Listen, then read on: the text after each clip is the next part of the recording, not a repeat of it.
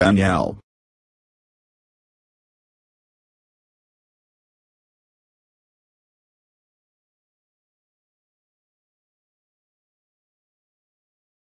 I'm washing dishes again. And the drain is backing up, Rob. I feel like I'm pushing everybody away. I've been feeling the same way is it cause of my guns? No Rob it's just the way we are. We have to get away from Port Huron. Let's go. How about Texas? Yeehaw.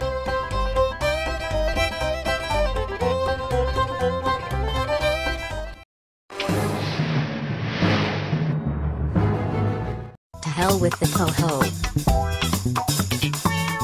We won't need these in Texas. But, we need them to keep pushing Port Huron retards away until we can get We're out of not pushing people away Danielle. We're running away from them as fast as we can. I love you Rob.